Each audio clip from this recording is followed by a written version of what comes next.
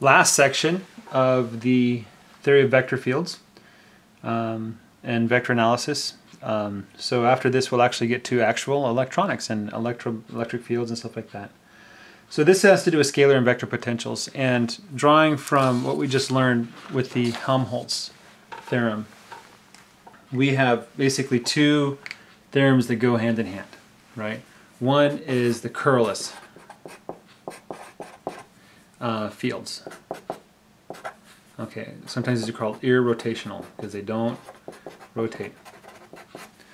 And the theorem says that if any one of these four conditions are met, all of them are met.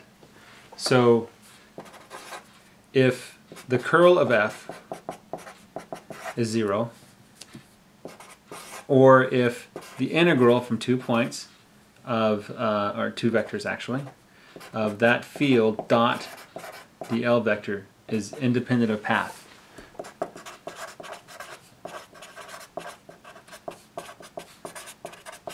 Right? Or if we have the closed loop integral for the same thing is equal to zero for any closed loop, any loop. So if you can find any loop where that's equal to zero.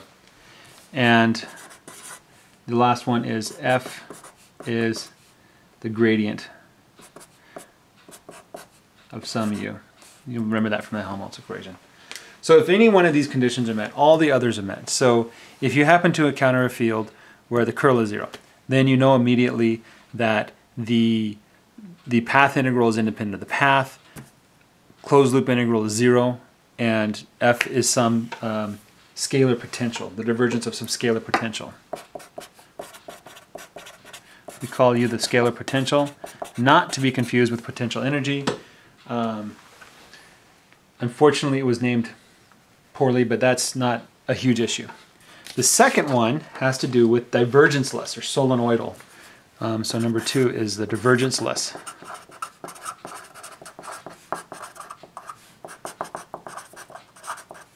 We call them solenoidal. Um, and again, if any of these uh, statements is true, then all of them are true. So one is that div of f is equal to 0. Another is that the surface integral of f vector dot dA um, is independent of surface.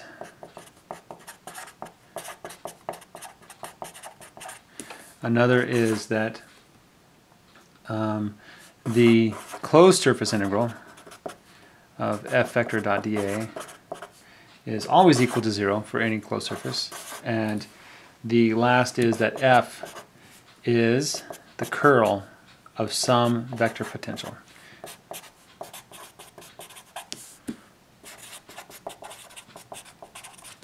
And all of these statements go hand in hand. If any one of them is true, then all of them are true.